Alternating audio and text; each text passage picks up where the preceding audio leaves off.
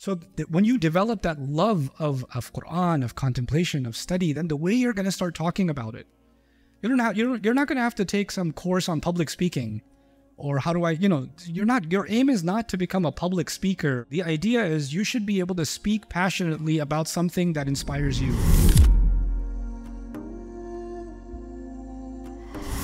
أعوذ بالله من الشيطان الرجيم هو الذي بعث في الأميين رسولا منهم يتلو عليهم آياته ويزكيهم ويعلمهم الكتاب والحكمة وإن كانوا من قبل لفي ضلال مبين رب اشرح لي صدري ويسر لي أمري واحلل عقدة من لساني يفقه قولي فالحمد لله والصلاة والسلام على رسول الله وعلى آله وصحبه أجمعين Um, Amma Once again, everybody, assalamu alaikum wa rahmatullahi ta'ala wa barakatuh. Uh, before I go on, I really want to appreciate the energy of the audience. MashaAllah. You guys are making me really happy. Alhamdulillah. May Allah preserve all of you, protect you, and uh, grow you in your own relationship with the Quran and make you a people of tadabbur and of study of the Quran that brings light to every part of your life. And may Allah make your learning of the Quran easier and easier and easier for you and just guide you in every decision you make in your lives. Okay. Anyway, so it also makes me really happy to see so many young people. This is an unusually high concentration of youth. Alhamdulillah. So that means that, you know, Europe's got some spark. MashaAllah.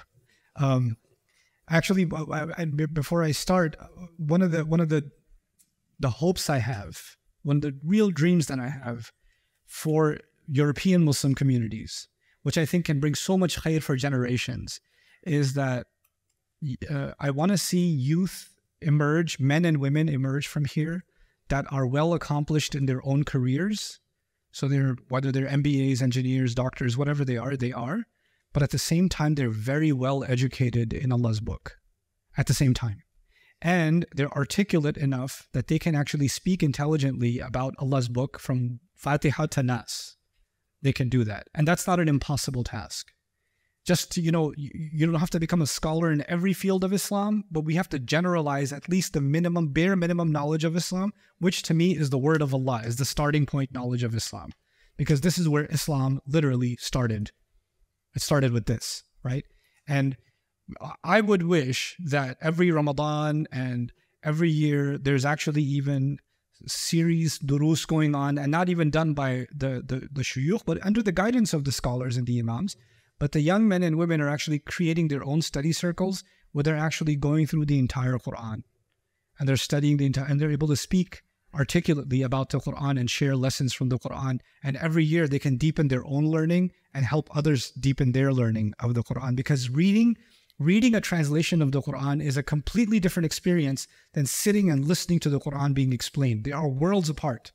And the more you feel passionate about the Quran, the more passionately you'll be able to speak about the Quran. And that passion is infectious.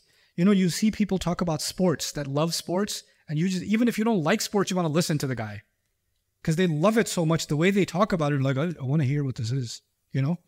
There are people that, that love cars and they love whatever subject, and the, just the way they speak about it, it just oozes out of them, right? So when you develop that love of, of Quran, of contemplation, of study, then the way you're going to start talking about it, you don't have, you're, you're not going to have to take some course on public speaking or how do I, you know, you're not, your aim is not to become a public speaker or a, an influencer. Most influencers are influenced or under the influence, but they, but they, But the, the, the idea isn't you want to become a public figure. The idea is you should be able to speak passionately about something that inspires you. That's all it is. And that that can happen in your living room with your friends, with your family. It doesn't have to be a TikTok page. It doesn't have to be like a YouTube video. Like that's not the only way to communicate with humanity. And unfortunately, now that's become almost like, you know, I I just I want to become more uh famous online I want to give something. And I, I keep criticizing this idea. People become like makeup influencers online and workout influencers and nutrition influencers. And now the new thing among youth is I want to become a, a hijab influencer or a beard influencer. I don't know what the, what? Like an Islam influencer. But it's basically the desire isn't Islam. The desire, the, the, the, the thing in capital letters is the influencer part, not the Islam part right? It's just, I really want, I love the attention. I love the engagement. I love the growing followers. I love the comments. But I love how you say, and for the sake of Allah, I want to give you guys some advice. Just really good advice for you that I'm giving in my filtered camera. That's going to be really, really beneficial for you. And I'm just doing this for the sake of Allah, even though I'm going to keep checking the comments for the sake of Allah. anyway. هو الذي بعث في الأميين رسولا منهم This is a, one of the most powerful ayat of the Quran describing the mission of the Prophet sallallahu We're going to take it bit by bit, and it doesn't matter how long it takes us for this ayah. We're going to give our due to this ayah. This ayah would be, in my opinion, if this surah is a building, the pillar that holds this entire building together is this ayah. This, this is the heart of the entire surah. Okay, of the entire entire surah. Anyway, he is the one who. Huwa ba'atha. So the surah, the ayah begins with He, referring to Allah. It didn't have to begin like that. It could just say, Ba'atha fil ummiyin rasulam minhum. He appointed among the unlettered a messenger among them. That's the phrase in the beginning. He raised, meaning Allah raised, among the unlettered people, the uneducated people, a messenger from among them. That's the phrase we're working on. But Allah said, He is the one who raised. This itnab, this reference to Allah in this way is forcing us to go back and say, He's making us connect this ayah to the previous ayah. He introduced Himself to us in the previous ayah. The one to whom everything does tasbih, because He is uh, Al Malik Al Quddus Al Aziz Al Hakim, is the same one with those names and with everything doing tasbih of Him. With that in mind, think about the fact that He appointed uh, a messenger among the unlettered people. The king of all kings raised a messenger among these people. Now, let's, let's now focus on the word raised, ba'atha. Ba'atha is used for ba'athahum min to raise somebody, to wake somebody up from their sleep. This is why it's used also for yawmul ba'ath, the day of waking up, meaning the day of resurrection, because death is a kind of sleep, right? So it, by extension, it became the day of resurrection in ba'atha fis sayr, you get up. Sometimes you get up and you don't really get up. You know what I'm talking about? You get up and you're like, and in your mind, you're like, yes, I'm, I'm getting up. I'm getting up. Come on, get up. Yep, just okay, count to 50. Because five is too quick, right? Or if, if, your if your wife wakes up, okay, you turn the light on. I'm coming, I'm coming. Yeah, yeah. Mm -hmm. So, so you're you're not really up. But then sometimes you get up and you're just you just like you know just get up, and that's called imbi'ath. Al imbi'ath fi When you rush and get up and you start walking quickly, you just jump with a spring in your step. That's imbi'ath. Um, now, uh, the word ba'atha. This is, is uh, it says on the title ba'atha with and without varying preposition. So let me explain what this means. This, it's not so complicated. In English, you have a verb like give, right? But if you say give up, it's totally different meaning, right? Uh, if I say give in, slightly different meaning, right? So giving has a certain meaning, but giving up doesn't mean giving up. It means quitting. So when you when some verbs when you add a preposition up in this case, it completely changes the meaning of the word. You understand? It's, so language is kind of like chemistry in that sense. This was one element, give. When you added this other element, this other chemical, up, it created a reaction and a new meaning was created. This is why you cannot learn languages only from the dictionary. You know what give means, you know what up means, and when your friend comes to you and says, I give up on this friendship, you say, okay, well, I give down on this friendship then. Like, you think he's leveling up on the friendship or something, you know? Because you can't look at the dictionary and figure that out. You have to know that languages, a verb, an action comes with preposition sometimes, and a new meaning is created.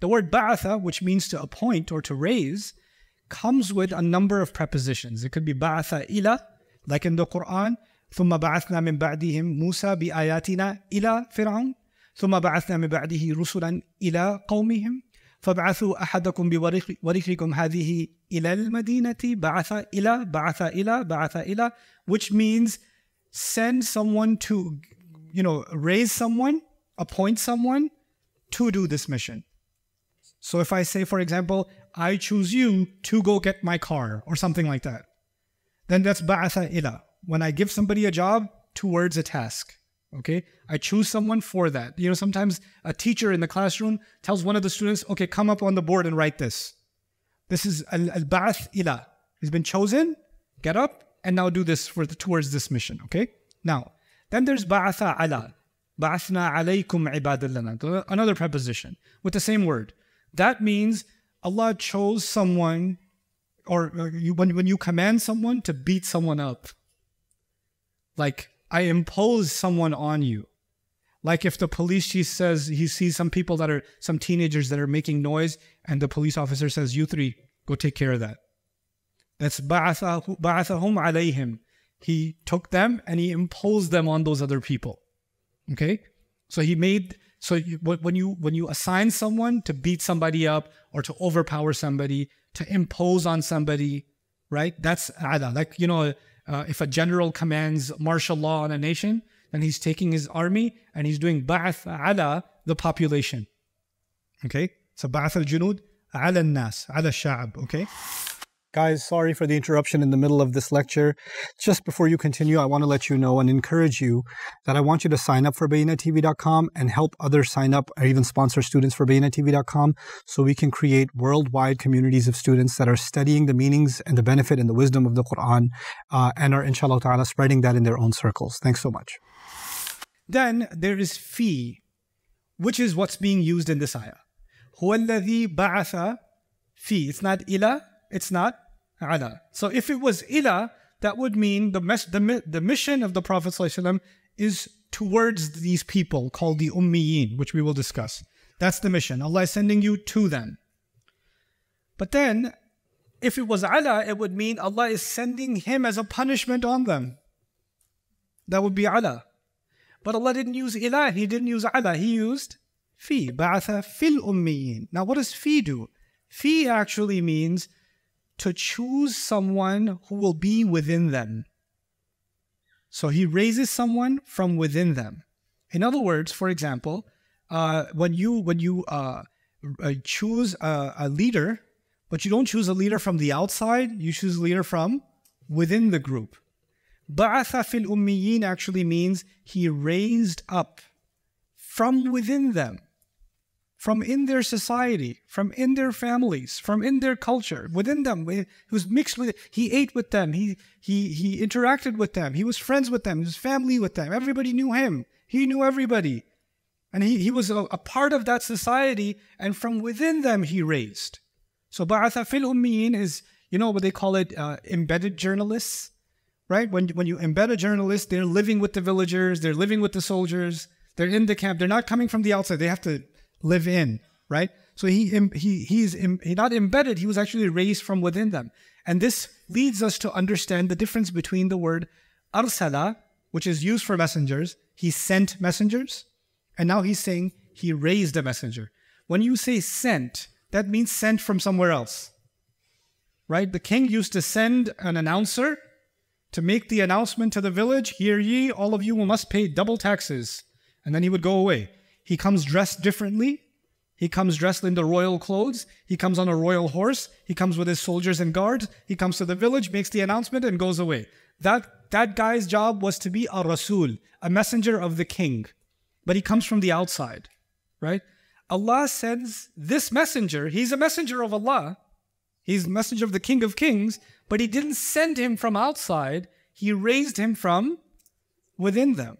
He raised them from within them. And this was Allah's unique kingdom where He doesn't need to send a messenger from the outside, He will choose a messenger from within that society. And this is a really powerful thing because Allah wanted His message to be understood by the people, not something that's being imposed on them. Allah could have sent an angel that would look scary and powerful, and he would descend and he would recite some Quran on the people, and everybody would like, Yes. Okay, well, we just had an experience from God. Nobody mess with that. And just to just to show you what we can do, if you mess with us, here, raise a mountain for them and drop it down. Next time it'll drop on you. And Allah has done that with the Israelites before. Like He raised the mountain above them like it was a shadow above them. He's done that already he could have done that with the instead of sending Rasulullah sallallahu alaihi wasallam and raising them from among him from among the people, he could have sent a messenger from the outside. He's got his his his angels are also called Rasul, by the way. Jibril is also a Rasul. Okay, A Rasulul Amin in the Quran. That's one of his names. So Allah could have sent him, but He says no. I, the King of Kings, decided to take among the unlettered people and raise among them a messenger. Raise among them Meaning, okay, now there's two things. There's you're raised among a people and you are from a people. So you are living among them is one thing, and you are from them is another thing. I learned this, I don't I'm not sure if it's true of you guys, but I learned this in my few days here in Germany that sometimes you meet some Germans who might tell you that you may be born in Germany, you may have lived in Germany, you may speak German, you may have a German passport, but you're not really German. Okay. You may be you may be within us, you may be within us, but you're not from us. Okay? You may, you may be within us, but you're not from us. So there, this may be a, a sentiment. Fi, you're, you're, you're Fina, but you're not Minna. You understand? هو الذي بعث في الأميين that's one part he's within them but there's another part maybe even if you're within us like Bilal was within them Bilal used to live live you know in, in, in the region he was in Mecca so he is among them he's within them but they don't see him as what from them they see him as an outsider they see him as they don't he's not from us when do people accept a message more willingly? When a person is from within them and from them, because people have bias. People are, re- this is not, how can we trust someone who's not really from us? He sounds like us, eats like us, drinks like us, you know, acts like us, but he's not really from us. It's not really. Well, but if someone is truly from you, then that becomes a much more acceptable messenger, isn't it? Allah says this is actually one of Allah's rules. Allah never sent a messenger except by in the language of his own people, their people. And lisan doesn't just mean language, lisan also means culture. Right? So the language and culture of, of those people, he understood their lingua lingo. By the way, you could be from a people, like some of you may be from Turkish origin, Albanian origin, somebody may be from Indonesian origin, Malaysian origin, and you were raised your, your your dad or your grandpa moved to Germany and you've been here for a couple of generations. So even though you're from Albania, you're not in Albania. And even if you go back to the home country for a little bit, even though you're genetically from them, you don't feel like you fit. You're kind of weird. Like you sound funny when you talk their language and they sound, you know, you, you, you're like, wow, I want to go home. Okay. I miss Stuttgart. then you come back and you come back and then you say, okay, you're, you are, you are fee us, but you're not min us. And when you go there, they say, you're min us, but you're not fee us. You're like, come on. I'm split in half. Which, where do I belong? Where do I fit? Right? So this is what a messenger is being sent who is within them and he's actually also from them. You know what that means? There's no excuse left for these people to be able to listen to him. For there's no there's no external factors that say ah, I don't know if I can relate to this man. He's just he's giving some message that I can't even understand. I can't even relate to it. Because what does he know about our culture? What does he know about our family? You know, people say, uh, how can an outsider treat, teach us?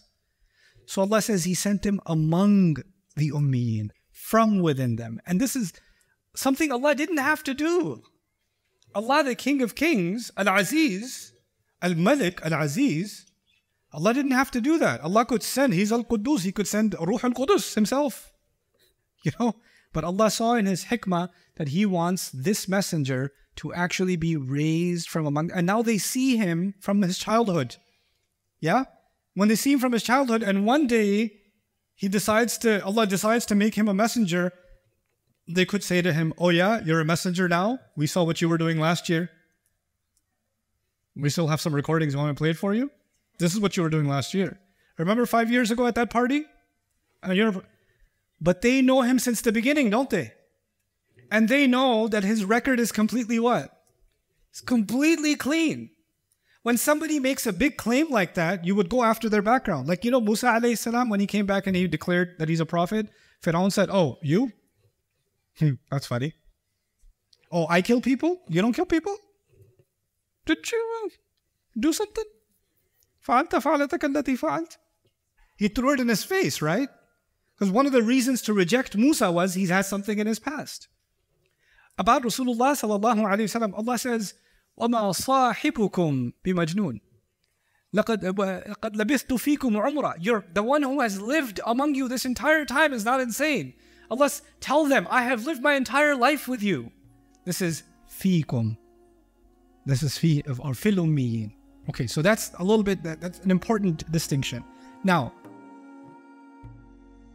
Assalamu alaikum everyone there are almost 50,000 students around the world that are interested on top of the students we have in studying the Quran and its meanings and being able to learn that and share that with family and friends. And they need sponsorships, which is not very expensive. So if you can help sponsor students on Bayyinah TV, please do so and visit our sponsorship page. I appreciate it so much and pray that Allah gives our mission success and we're able to share the meanings of the Quran and the beauty of it the world over.